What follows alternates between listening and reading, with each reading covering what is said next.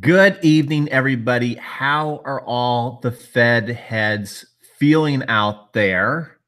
Are you happy? Are you impressed with Roger Federer's performance tonight? Or are you a little concerned? Certainly wondering how my friend from Coffee Break Tennis is feeling, Matt Bradshaw, on Roger's performance tonight. He gets through in straight sets so it was relatively routine, but he did have a bit of a scare in the second set where we went to 7 6. And in the first set, the score was 6 4. So relatively pretty close match 6 4, 7 6. And then he cruises in the third set 6 2 against Fucsovics from Hungary. Say that 10 times fast. And do you even know who he is? Because this is by far the best he's ever done in a tournament. This is by far the most tournament he, money he's ever won. I think he is 25 years old and he's won a total of $600,000 on tour, rarely being in the main draw of tournaments, never even winning a challenger tournament, from what I understand. And then he gets to go and play the biggest legend of all time, Roger Federer I bet you that was quite a thrill for him. One thing that's kind of cool, though, this is not the first time they've met. They've actually been sparring partners. All right, so uh, isn't playing the live feed isn't playing for me. Federer looked okay, not very sharp, but didn't really need to be today. That's exactly right.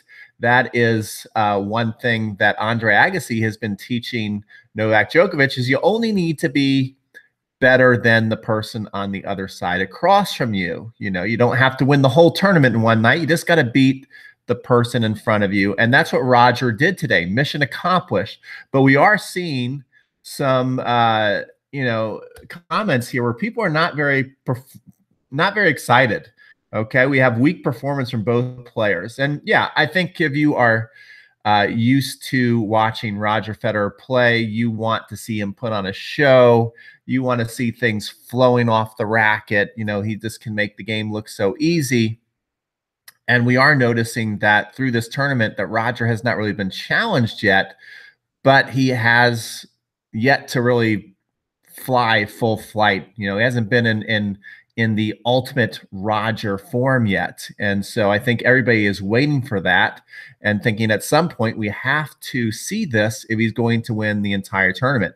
I hate watching Roger play weak players. Why is that? Anthony says, I hate watching Roger play weak players.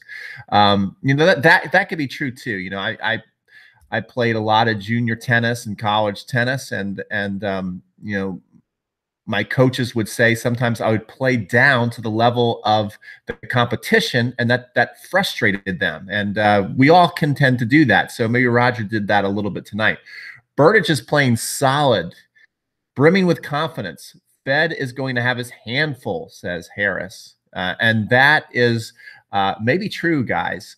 Um, if you're just joining us, we are reviewing Roger Federer's match tonight. My name is Pete from Crunch Time Coaching.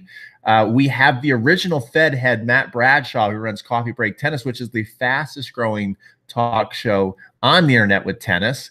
And um, so we know that we have a lot of Fed fans out there watching tonight. If you're watching this video, we'd love it if you would give it a thumbs up. If you give us a thumbs up if you like Roger, uh, it seems like we have a lot of people concerned. Berdych scares me, says Djokovic, because he truly can believe he can beat Roger. Yeah, here's the thing.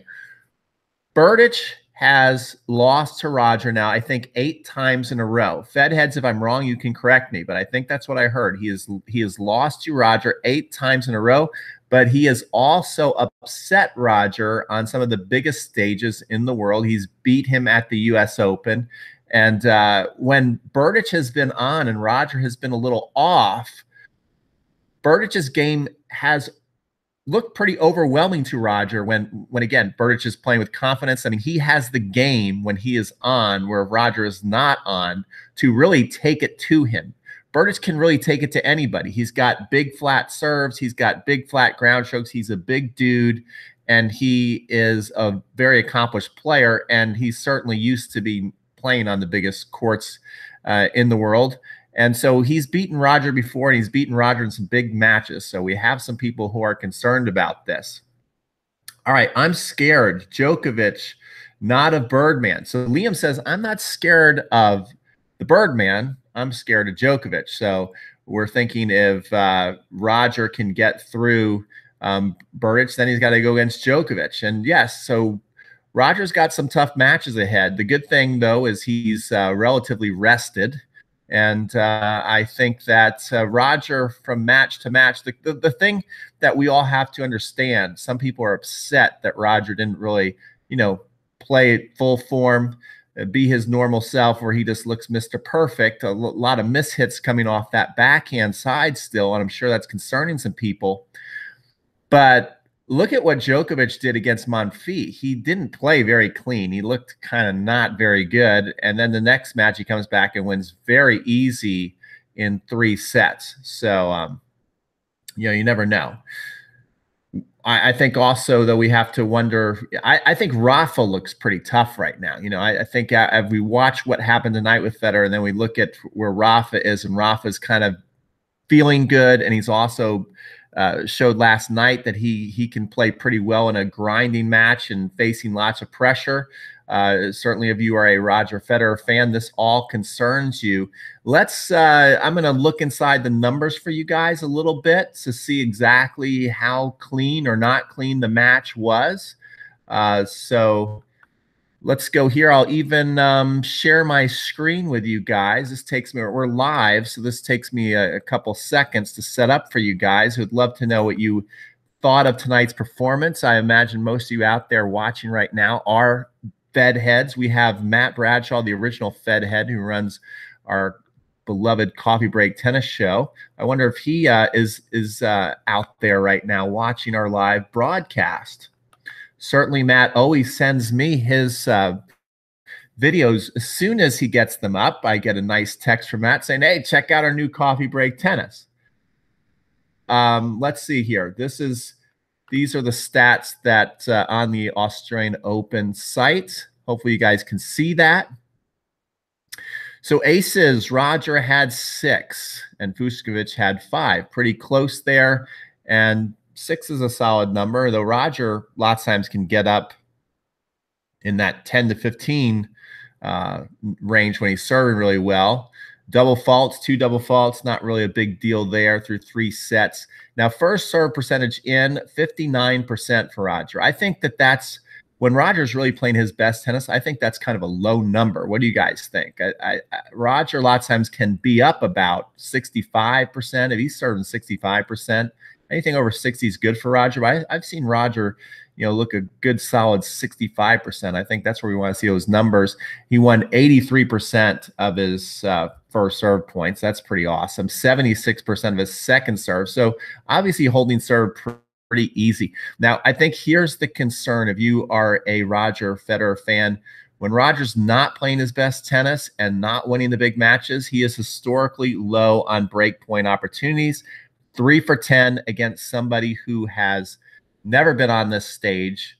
Um, you know, this is this is by far the the the biggest match of his life. So the guy had to be nervous, and Roger was only three for 10 uh, against you know not a great opponent. So I, I think that that is a big number because if it's three for 10 against Fucsovics, what's it going to be against Rafa, who is the biggest, greatest you know, big point player, you know, and Berdych and and Djokovic. What what's going to happen there? 34 winners to 23 winners. That's solid through three sets. Uh, so there you go. Where are the unforced errors? Do they have the unforced errors? I want to see.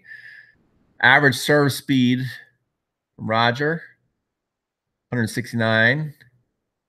I want to see the uh, I want to see the unforced errors. Let's see if we can see that. Passing shots, lobs, overheads, drop shots. Look like that's not in there. So I'm going to stop sharing the screen, come back to you guys, see what you guys think of these numbers. Okay.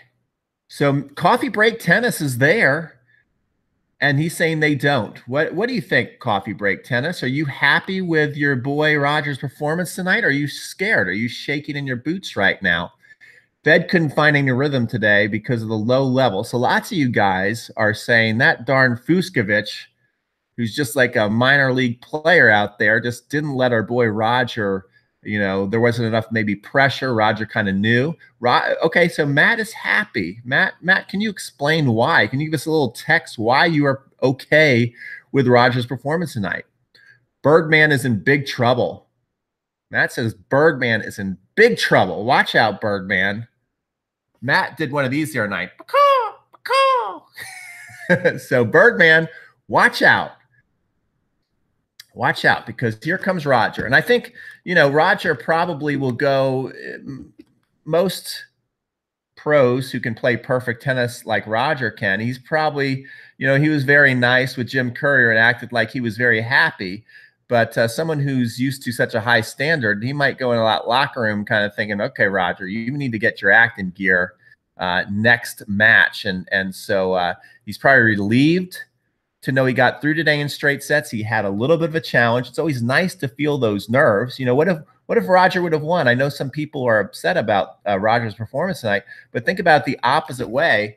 If he would have won 6 1, 6 1, 6 1, of course, we'd be more happy that we got to see all these beautiful winners coming off Rogers' racket and that he's hitting the ball clean, but he wouldn't have felt any pressure. He would have felt zero pressure. And you can bet in his next match against Thomas Berdych and then Djokovic and then Nadal, he's going to face pressure. So it's good that he was able to face pressure tonight without actually ever feeling in danger that he might lose. So I think that's kind of good to be able to play matches like that to where you're feeling the pressure from your opponent, but you're also kind of going, well, I'm just kind of measuring everything against myself. I'm not going to lose tonight. I just don't feel like I'm, you know, firing at 100%. All right, he's usually pretty right. Who's usually pretty right? So people are agreeing exactly. Very cool. So, um, what is? Let's let's get some thoughts out here before we uh, take off for the night. I see that we have eleven thumbs up. I'd like some more thumbs up. Right? Give give the screen a thumbs up right now. If you are new to our channel, Crunch Time Coaching, why don't you subscribe right now if you love tennis? Because we do lots of cool stuff with tennis.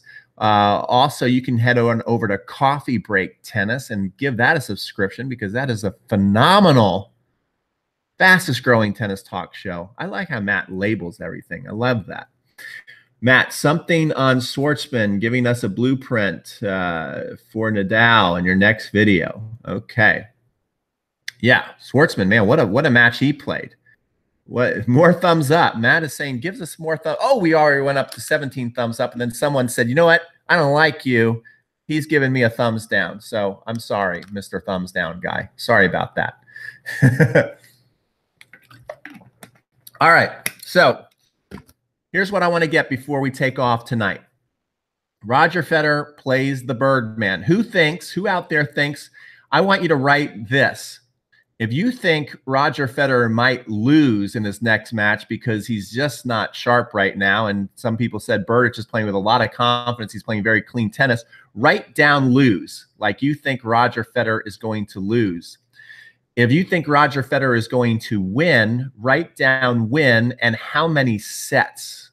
How many sets is it going to take uh, Roger Federer to win the match? And uh, then going forward, is that is is Roger Federer going to win the tournament in your mind? All right, cool. We're getting some people get. We got a couple more thumbs up. I want Cheez-Its before signs off. I wish I had some Cheez-Its, Matt. So here we go. We're getting win in four set, win in three sets, three sets to one. Flip, flip is right. Philip is right. Uh, win in four sets, in four sets, three sets, win. No one's so here's the the, the funny thing. VJ Fedhead.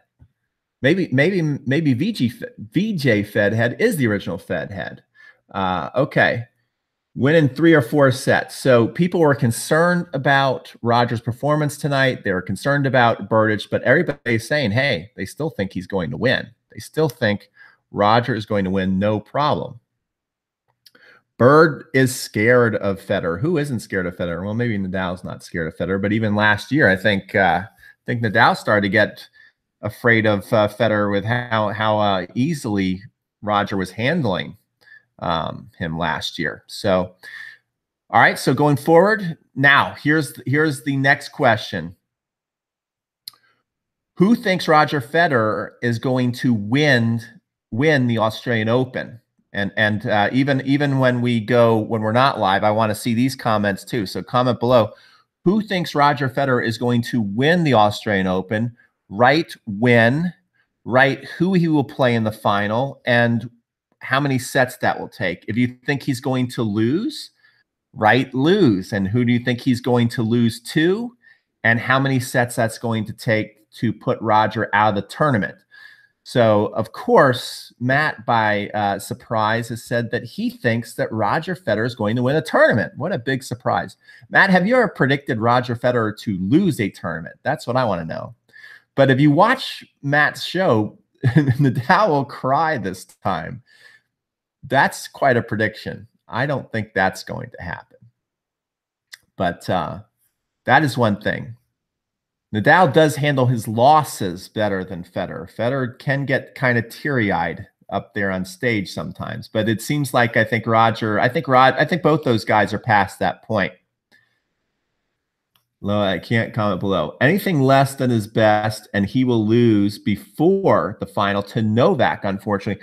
Guys, that may, I mean, Novak is tough, uh, but um, it seems like we have people afraid of Novak and Novak, I don't think is playing great. I think his serve is very shaky right now. And I think if he goes out there and gets nervous, uh, Roger, they, they showed Ser- Serena's coach. Look up on YouTube. Serena's coach did a great video on how Novak's serve is not landing near the lines. Did you see this, Mr. Coffee Break Tennis? Novak's serve is not landing near the lines right now. It's landing more in the middle of the box and very short in the box, especially on the second serve. So if he does not pull that together, Roger's going to have a field day on Novak's second serve. Novak better play the ground strokes of his life if he's going to beat Roger because Roger's going to be giving him some big first ball returns. So um, anyway, yeah, put the link up of of what that uh, video with with uh, Patrick, um, Serena's old coach. I don't think I can find that right away, but it is good. If anybody can find that link Maybe you go searching right now. Maybe Matt, if you could look that up, it is a great video where uh, the coach breaks down Novak's serve. Actually, we're going to be coming out with a video of is Novak's Djokovic serve good or bad? It's going to be really good too. I can't wait to see. All right. I see that my computer battery is running low, so I better hang up before my computer literally just runs out of juice. We're both tired from watching tennis. It's 2:08 2:08 a.m. I'm going to let Matt take over. The next time you see us, you'll see Matt's coffee break tennis. Matt, put that up on uh, the both YouTubes. Let's put that up on coffee break tennis and crunch time, and um, you will be able to see Matt. Uh, coming at you live 11 a.m. Eastern with his booster, with his uh, prediction and how he felt about Rogers' performance tonight. Tuck us in, Pete. Okay, everybody. I'm going to sing you a lullaby. Lullaby. Roger Federer is the greatest. Don't worry, he will win. He's the best. He won't let you down. And he's always there for you. All right, guys. See, I did that just for you, Matt. okay. Doesn't get any more embarrassing than that. Guys, give me a thumbs up for that song, please. Good night, everybody. Uh, take care, Fed heads. And um, we will see you with another post match with Pete relatively soon. We had somebody crying for that. Everybody get a good night's rest. There's lots more tennis to come.